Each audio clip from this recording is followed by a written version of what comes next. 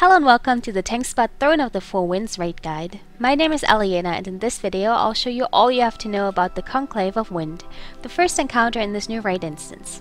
We completed this fight with 2 tanks, 3 healers, and 5 DPS, but similar raid configurations may work just as well. The Conclave is a council type encounter where you fight 3 Jinn at the same time, but this fight comes with a twist. All three enemies are on different platforms, and while you can move between the platforms by jumping into the wind streams, you have to split up your raid intelligently to make it work. On top of that, each Conclave member has to die within a minute of the first one's death, or the first Jin will regain all his health. The three Jin are Anshel, Nazir, and Rohash. Rohash does basic wind attacks and can easily be tanked by a healer or ranged raid member. Ideally, you want to leave one healer and two ranged raid members with him for most of the fight. Anshel is a nature-based enemy that spawns ads and will require a tank and a healer along with your leftover DPS. Nezir is ice-based and will also require a tank and a healer. This fight would be simple if it wasn't for the fact that all of the Jin have an energy bar, and when their energy bar is full, in other words when it reaches 90, they will execute their ultimate abilities. All Jin will reach full energy at the same time and you can never leave a platform completely abandoned or it will result in a raid wipe. Let's go over the Jin's abilities. Rohash is fairly straightforward. He has a Wind Slash, with which he'll attack from a range. Occasionally a few Cyclones will circle around his platform. Obviously you don't want to get caught in one of these or you will take damage and get knocked back. And on a timer he uses Wind Blast, an ability that makes him slowly spin around the platform and anyone in front of his face will get knocked back 200 yards. Yes, 200. You have been warned. This works similarly to the Lurkers Below Spout. If you were an active raider in the Burning Crusade, you may remember it.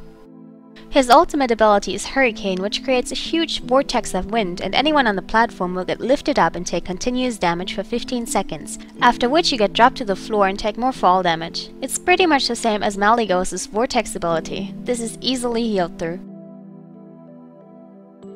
Anshel's first ability that you'll see is called Soothing Winds and looks like a green circle that he puts on the ground. It heals all of Anshel's allies and silences enemies, so pull him and his ads out of it and stay away from it yourself.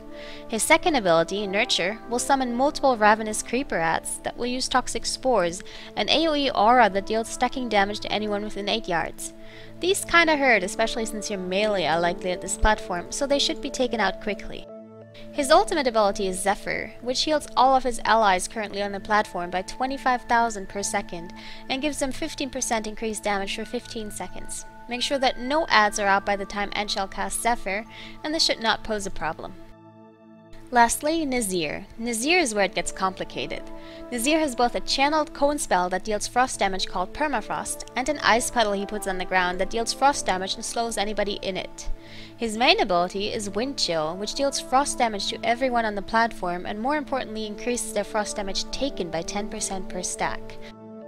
Combined with his other abilities, this means that anyone remaining on the platform for too long will get killed outright. His ultimate ability is called Sleet Storm. Sleet Storm deals about 30,000 damage per second to anyone on the platform for 15 seconds. However, Sleet Storm's damage is divided by everyone on the platform, so as you can see you want to have as many people as possible on Nazir's platform when his energy bar is about to turn full. However, you also need to switch Nazir's tank and healer team with Anshel's tank and healer team periodically to avoid getting too many stacks of the debuff, and at the same time you want to avoid switching too much, so you have to find a good balance.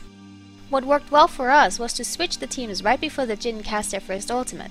The DPS from both other platforms also need to be at Nazir's platform before every ultimate that he casts, while a single healer remains at Rohash and the original Nazir tank and healer team fills in at Anshal. After the ultimate finishes, the DPS return to their original platforms.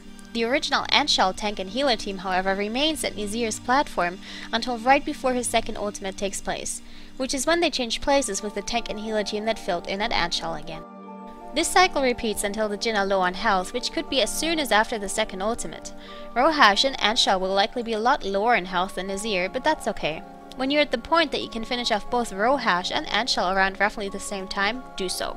Afterwards, everyone should move over to Nazir's platform and finish him off. You have about a minute to do this, so the timer is lenient. It is worth noting that you cannot switch platforms in the 15 seconds that the Jinn cast their ultimates, so any switching of platforms has to occur at about 80 energy to account for travel time. I've attached the full encounter so you can see how we dealt with the various mechanics in detail. Good luck and have fun! As you can see, I start out at Anshal's platform uh, along with our melee team and a Death Knight tank. This is shortly after engaging them, um, right before their first ultimate. It's coming up soonish here. They're at about 60-70% um, energy. So what we're doing is we're finishing off the ads. The melee are actually taking quite a bit of damage here. Uh, it's kind of tough to heal since Prisa very mana inefficient right now. But I'm trying to conserve my mana because Nazir is going to be much, much worse than this. So we're just waiting for our chance to hop over, which is coming up here. So into the wind we go. Whee!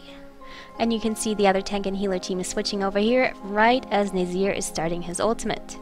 Now, um, tank's running in, everybody's running into DPS. Uh, the other platform, Rohash's platform, is over here too.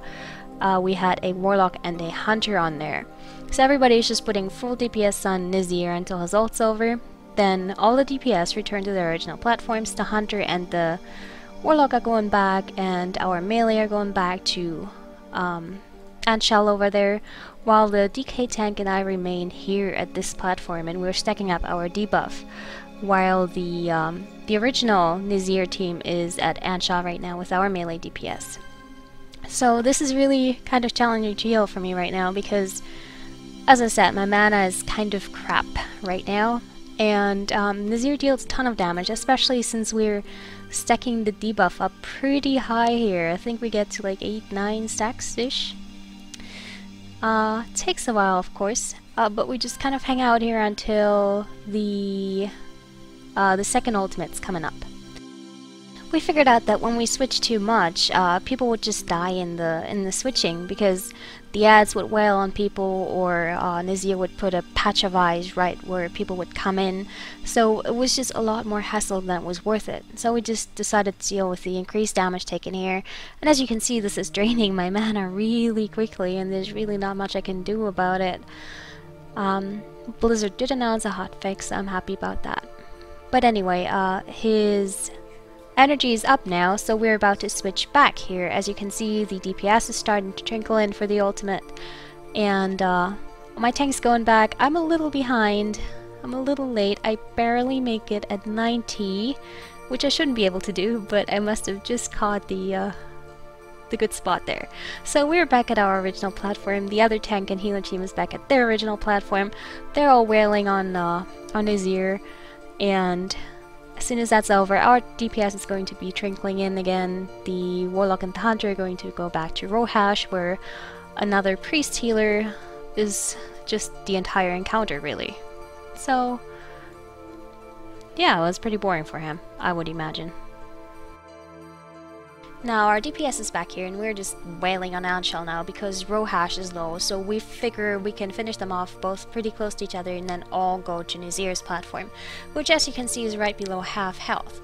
So that's quite a bit of damage that he needs. But when you have two of them low which probably will be Rohash and Anshel uh, finish them off as close to each other as possible. Uh, as you can see Rohash just died. Um, Anshel here is about to die Yep, there it goes. And now we're all going back to um, to Nazir to finish him off. Now if we had a Bloodlust, we'd probably use it right here or just before then, but we don't. So we just kind of wail on him, keeping everybody up. Uh, his energy is not quite back up to the ultimate. We finish him off before his third ultimate. So if that's a uh, DPS marker or whatever, there you have it. We finished him before the third ultimate, but I don't know if that's good or bad or whatever, it's just how we did it. So yeah, it's about all the tips I have and uh, I wish you good luck and have fun. It's a really fun encounter.